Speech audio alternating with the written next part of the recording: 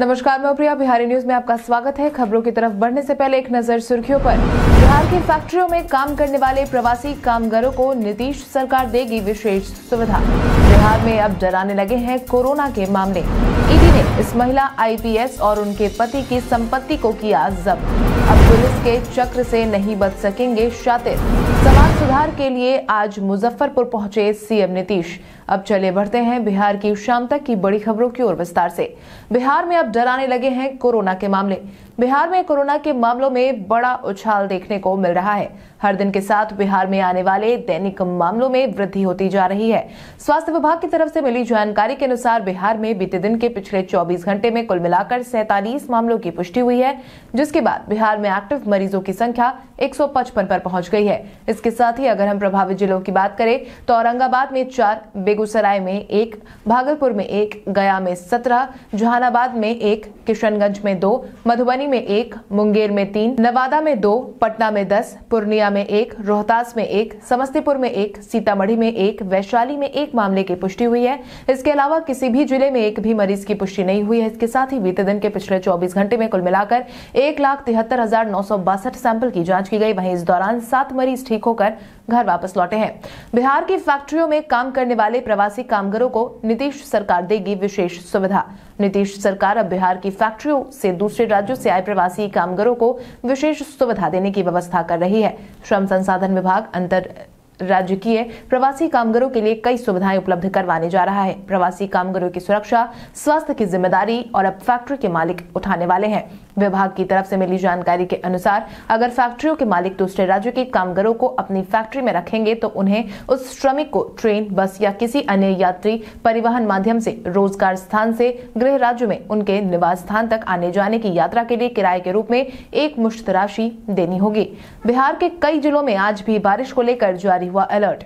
बिहार के कई जिलों में मंगलवार की शाम को बारिश का नज़ारा देखने को मिला, जिसके कारण आज सुबह से ही ठंड का मंजर दिख रहा है। आपकी जानकारी के लिए आपको बता दें कि बिहार में पिछले 24 घंटे के दौरान कई हिस्सों में बारिश हुई, जिसके चलते तापमान में गिरावट दर्ज की गई है। आज भी सिवान, गोपालगंज, पूर्वी चंपारण, शिवहर, सीतामढ़ी सहित कई जिलों में हल्की से मध्यम बारिश की संभावना जताई गई है। मौसम विभाग के अनुसार अगले एक से दो दिनों तक बिहार में मौसम की ऐसी ही स्थिति बनी रहेगी। पटना मौसम विभाग की माने तो आज राज्य के एक या दो हिस्से में कोहरा छाए रहने के आसार जताए गए थे। वहीं आज और कल प्रदेश में शीतलहर चलने की संभावना भी जताई गई है। बिहार के आईटीआई कॉलेजों में सेंटर ऑफ़ एक्सीलेंस का होगा निर्माण। बिहार में आईटीआई कॉलेज को उन्नत बनाने के लिए बिहार सरकार अपने काम में जुट गई है, जिसके तहत ही अब श्रम संसाधन विभाग ने नई पहल की शुरुआत की है। बिहार के श्रम मंत्री जीवेश मिश्रा की तरफ़ से मिली जानकारी के अनुसार टाटा टेक्नोलॉजी की मदद से सभी आईटीआई कॉलेज में सेंटर ऑफ़ एक्सेलेंस बनाया जाएगा। इसके लिए कुल साठ आईटीआई कॉलेज को प्रथम फ़ेज़ में लिया जाएगा। इस योजना पर पाँच करोड़ रुपए की राशि खर्च होगी। इससे युवाओं का कौशल विकास होगा। आपकी जानकारी के लिए आपको बता दें कि दस स्क्वायर फीट में यह सेंटर बनेगा। टाटा कंपनी इस योजना पर कुल अट्ठासी प्रतिशत राशि खर्च करेगी। बिहार में शुरू हो गई है कोरोना की तीसरी लहर। बिहार में कोरोना के मामलों में लगातार बढ़ोतरी देखी जा रही है। मंगलवार को स्वास्थ्य विभाग की तरफ़ से जारी रिपोर्ट के अनुसार बिहार में कोरोना के नए संक्रमित मरीजों की संख्या सैतालीस सामने आई है। अगर हम पिछले चार दिनों की रिपोर्ट को देखें तो पता चलता है कि बिहार में एक्टिव केस के मामलों में दोगुनी वृद्धि हुई है। इस बीच सीएम नीतीश कुमार ने यह कह दिया है कि बिहार में कोरोना की तीसरी लहर आ चुकी है। बता दें कि आईएमए के छियावनवे अधिवेशन में सीएम नीतीश कुमार ने ये बात कही है। इस दौरान बोलते हुए सीएम नीतीश कुमार ने यह भी कहा कि कोरोना की पहली और दूसरी लहर से लड़ने में डॉक्टरों का योगदान सराहनीय रहा। कोरोना से मुक्ति दिलाने में जो डॉक्टर की भूमिका है, इसके लिए आपका अभिनंदन करता हूँ। बिहार की कलात्मकता का मुरीद हुआ गुजरात। कलात्मकता के क्षेत्र में मधुबनी चित्रकला वैश्विक पटल पर बिहार की पहचान चिन्ह बन चुकी है। सिर्फ़ यही नहीं, बिहार एक ऐसा नाम जिसकी सभ्यता, संस्कृति और कलात्मकता का स्वर्णिम इतिहास रहा है। ऐसे में अब बिहार ने अपने नाम एक और कीर्तिमान दर्ज कर लिया है, जिसके तहत अब मधुबनी चित्रकला से गुजरात भी बिहार का मुरीद हो गया। यही कारण है कि मधुबनी चित्रकला से गुजरात की दीवारें भी सज रही हैं। गुजरात के कोसम्बा रेलवे स्टेशन को मधुबनी चित्रकला से सजाया गया है। डीसीएम ने बताया है कि मधुबनी चित्रकला विश्व प्रसिद्ध है। मधुबनी चित्रकला का कहीं ना कहीं महिला सशक्तिकरण से बहुत बड़ा लगाव है। उन्होंने कहा है कि महिला सशक्तिकरण के साथ हमारा उद्देश्य यहाँ पर आए, लोगों को गुजरात की संस्कृति से परिचित कराना है।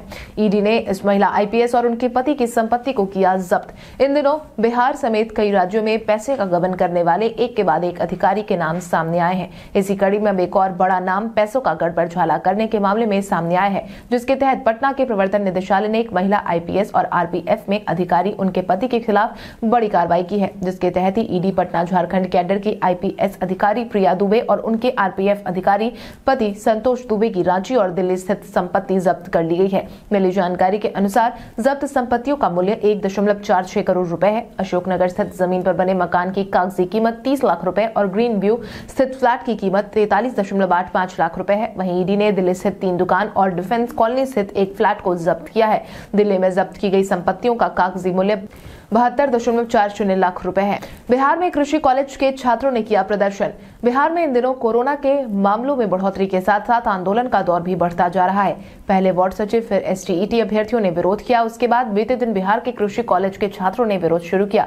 वीर कुमार कृषि कॉलेज में मंगलवार को 2019-20 और 21-22 के छात्र छात्राओं ने प्रोफेसर के अनशन को देखते हुए परीक्षा नहीं देने का निर्णय लिया है। यह परीक्षा 3 जनवरी से 15 जनवरी तक निर्धारित है। छात्रों का कहना है कि अगर उनकी मांग पूरी नहीं होती है तो अनिश्चितकालीन भूख हड़ताल करेंगे। इससे पहले भी परीक्षा की तारीख दो बार बढ़ाई गई थी, लेकिन प्रोफेसर की हड़ताल और अनशन की वजह से कक्षाएँ आयोजित नहीं हुई।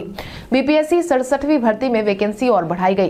बीपीएससी अभ्यर्थियों के लिए खुशखबरी। बिहार लोक सेवा आयोग ने सड़सठवीं संयुक्त सिविल सेवा परीक्षा के तहत पदों की संख्या में एक बार फिर से बढ़ोतरी कर दी है, जिसके तहत वैकेंसी की संख्या में चार पदों का इजाफा किया गया है, जो कि प्रवेशन पदाधिकारी यानी कि बिहार प्रवेशन सेवा और गृह विभाग कारा के हैं। इस बाबत बीपीएससी ने नोटिफिकेशन जारी कर दिया है, जिसके तहत ही सड़सठवीं में पांचवी बार पदों की संख्या बढ़ाई गई है, जिसके परिणाम स्वरूप अब बीपीएससी सड़सठवीं में रिक्त पदों की कुल संख्या बढ़कर सात हो गई है। इसके पहले सोलह दिसंबर को बीपीएससी ने सड़सठवीं संयुक्त प्रतियोगिता परीक्षा के लिए अड़सठ सीटें बढ़ा दी थी। आयोग ने तब श्रम प्रवर्तन पदाधिकारी के पैंसठ और कारा अधीक्षक के तीन पद बढ़ाए थे। अब पुलिस के चक्र से नहीं बच सकेंगे शातिर। बिहार में अपराधी और पुलिस में अक्सर तू डाल डाल, मैं पात पात की स्थिति देखने को मिलती है, क्योंकि पुलिस भले ही अपराधियों पर तरह तरह से शिकंजा कसने का काम करती आई हो, लेकिन अपराधी भी दिन ब दिन और ज़्यादा हाईटेक होते जा रहे हैं। हालाँकि अब इन अपराधियों को पकड़ने के लिए और इनकी पहचान करने में बिहार पुलिस और ज़्यादा एडवांस होने वाली है।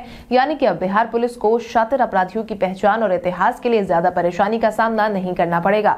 अब कहीं से भी किसी भी शातिर बदमाश से जुड़ा पूरा इतिहास की जानकारी हासिल कर सकेंगे। इसके लिए बिहार पुलिस ने चक्र ऐप की शुरुआत की है। इस मोबाइल मोबाइल ऐप से बिहार के लगभग सारे अपराधियों का कच्चा चिट्ठा अपलोड किया जाएगा, जिससे कि अब नाम लेते ही उस खास नाम के सारे अपराधियों का फ़ोटो सहित ब्यौरा उपलब्ध होगा, जिससे बिहार पुलिस का काम अब और भी ज़्यादा आसान हो जाएगा। हर घर नल का जल योजना में गड़बड़ी का आरोप लगी एजेंसीज ले रही है क्लीन चिट हर घर नल का जल योजना में सुस्ती और गड़बड़ी की शिकायतों के आरोप में अब तक सरकार की तरफ़ से कई कंपनियों को काली सूची में डाल दिया गया था, जिसके बाद अब काली सूची में डाली गई ये कंपनियाँ तेज़ी से दोष मुक्त हो रही हैं। इस बाबत लोक स्वास्थ्य अभियंत्रण विभाग लगातार जाँच पड़ताल कर ऐसी कंपनियों को दोष मुक्त करने का काम कर रहा है। विभागीय सूत्रों ने बताया है कि इस साल चार दर्जन से अधिक एजेंसीज को काली सूची से बाहर किया गया है। नल जल योजना के शुरू होने के बाद आठ अब तक 800 से अधिक एजेंसियों के खिलाफ कार्रवाई की गई है। अधिसंख्य एजेंसीज अब भी काली सूची से बाहर निकलने की लगातार कोशिश कर रही है। नए साल में पटना के पार्कों को किया गया बंद। बिहार की राजधानी पटना में नए साल का जश्न फीका रहने वाला है, क्योंकि कोरोना के नए वेरिएंट का प्रसार लगातार देश भर के कई राज्यों में बढ़ता जा रहा है। हालाँकि अभी तक बिहार में इस नए वेरिएंट को लेकर कोई पुष्टि तो नहीं हुई है, लेकिन सरकार एहतियाती कदम ज़रूर बरत रही है। इसी को ध्यान में रखते हुए नववर्ष पर पार्कों में अधिक भीड़ होने की संभावना के मद्देनजर सरकार ने सभी पार्कों और उद्यानों को इकतीस दिसंबर से दो जनवरी तक पूर्ण रूप से बंद रखने का निर्णय लिया है। इसको लेकर बिहार के मुख्य सचिव त्रिपुरारी शरण ने आदेश जारी किया है। मुख्य सचिव के पत्र में कहा गया है कि कोरोना के नए वेरिएंट के संक्रमण के प्रसार और नए साल 2022 की पूर्व संध्या और प्रथम दिन को होने वाले आयोजन और सार्वजनिक स्थलों पर भीड़ एकत्रित होने की संभावना के मद्देनजर पार्क और उद्यान के बंद रखने का निर्णय लिया गया है। समाज सुधार के लिए आज मुजफ्फरपुर पहुँचे सीएम नीतीश। बिहार के विभिन्न जिलों में समाज सुधार अभियान के तहत सीएम नीतीश लगातार दौरा कर रहे हैं। इसी कड़ी में आज सीएम नीतीश अपने इस अभियान के तहत मुजफ्फरपुर पहुँचे, जहाँ कार्यक्रम का आयोजन किया गया। ये कार्यक्रम ज़िले के एमआईटी कॉलेज प्रांगण में किया गया, जिसे लेकर जिला प्रशासन की टीम ने सभी मुकम्मल व्यवस्था सुनिश्चित कर ली थी। वहीं इस दौरान समाहरणालय सभा कक्ष में तिरहुत रेंज के चार ज़िले, मुजफ्फरपुर, वैशाली, सीतामढ़ी और शिवहर के अधिकारी समेत कई विभाग के अधिकारियों के साथ विभिन्न योजनाओं और खासकर शराबबंदी को लेकर समीक्षा बैठक की गई। आपको बता दें कि सीएम के कार्यक्रम को लेकर शहर के कई ट्रैफ़िक रूट को भी बदल दिया गया था। जिस रूट से सीएम को आना है, उस रूट में कड़ी सुरक्षा के साथ साथ सभी प्रकार के वाहनों की आवाजाही पर रोक लगा दी गई थी, जो आज सुबह से ही प्रभावी था। नए साल पर एनडीए में होगा खेला। जीतन राम मांझी के बयानों को लेकर लगातार बिहार की सियासत गर्म है। मांझी की पार्टी की तरफ़ से भाजपा नेताओं पर निशाना भी साधा जा रहा है। इतना ही नहीं, मांझी कई बार ये दावा कर चुके हैं कि सरकार उन्हीं के दम पर चल रही है। दूसरी तरफ़ भाजपा ने मांझी के दावों पर सवाल उठा दिया है। भाजपा नेता और मंत्री नीरज सिंह बबलू ने मांझी को राम नाम जपने की सलाह दी है, जिसके बाद ही एनडीए के बीच में मचे घमासान को लेकर राजद ने बड़ा दावा किया है, जिसके तहत राजद प्रवक्ता मृत्युंजय तिवारी ने साफ़ कहा है कि एनडीए में मांझी जी का लगातार अपमान हो रहा है। पिछले कुछ समय से मांझी जी का जो रवैया है, जो बयान आ रहे हैं, वो नए साल में कुछ कुल ज़रूर खिलाएगा। एनडीए सरकार को यह भारी पड़ेगा। मांझी के बल पर सरकार है और उन्हीं को आँख दिखाई जा रही है। सेंचुरियन में सेंचुरी लगाकर पंत ने तोड़ा धोनी का बड़ा रिकॉर्ड। भारत बनाम दक्षिण अफ्रीका के बीच पहला टेस्ट मुकाबला खेला जा रहा है, जहाँ फ़िलहाल भारतीय टीम मज़बूत स्थिति में दिख रही है। इतना ही नहीं, इस दौरान भारतीय टीम के कई खिलाड़ियों ने अपने नाम अनोखा रिकॉर्ड भी दर्ज किया है, जिसके तहत ही भारतीय विकेटकीपर ऋषभ पंत ने अपने छब्बीसवें टेस्ट में एक महान उपलब्धि हासिल की है। पंत ने पूर्व भारतीय कप्तान महेंद्र सिंह धोनी और रिद्धिमान साह को पीछे छोड़ दिया है। ऋषभ पंत सबसे तेज सौ विकेट लेने वाले भारतीय विकेट बन गए हैं। धोनी और रिद्धिमान साहा ने छत्तीस टेस्ट में यह कारनामा किया था। इसके बाद किरण मोरे, नयन मोंगिया और सैयद किरवानी जैसे नाम आते हैं। पंत ने इस मैच में अब तक तीन कैच पकड़े हैं। उन्होंने पहले दक्षिण अफ्रीकी कप्तान डीन एलगर, टेम्बा, बाबुमा और उसके बाद वियान मुल्डर का विकेट के पीछे कैच लपका था। साउथ अफ्रीका के विकेटकीपर क्विंटन डी कॉक इस लिस्ट में सबसे आगे उन्होंने 22 टेस्ट में विकेटों के पीछे 100 विकेट लेने का काम किया था और इस उपलब्धि को हासिल की थी। कल हमारे द्वारा पूछे गए सवाल का जवाब आप में से बहुत सारे यूज़र ने हमें कमेंट करके दिया था। उसके लिए आपका बहुत बहुत धन्यवाद। आप में से जिन यूज़र का कमेंट हमें अच्छा लगा है, उनके नाम है Roshan Kumar, Nunnu Kumar, Priya Yadav, Pravin Kumar, Neelam Kumari, Niranjan Kumar E R Rajeshwar Roy, Manish Kumar, Gajendra Singh, Shailendra Vishwas M D Rashid Afridi, Mrityunjay Kumar, Ravindra Kumar, Rashmi Kumari, Rustam Kumar. आप इसी तरह हमारे सवालों का जवाब देते रहे। हर दिन वीडियो के अंत में आपका नाम लेने की पूरी कोशिश करेंगे। तो चलिए बढ़ते हैं आज के सवाल की और आज का सवाल कुछ इस प्रकार है। आपके अनुसार क्या बिहार सरकार की नल जल योजना सफल हो पाई है या नहीं? अपने जवाब में कॉमेंट करके ज़रूर बताएँ। इसके साथ ही आज के लिए बस इतना ही। बिहार की बड़ी खबरों से अपडेटेड रहने के लिए हमारे यूट्यूब चैनल को सब्सक्राइब करें और बेलाइकॉन दबाना ना भूले। धन्यवाद।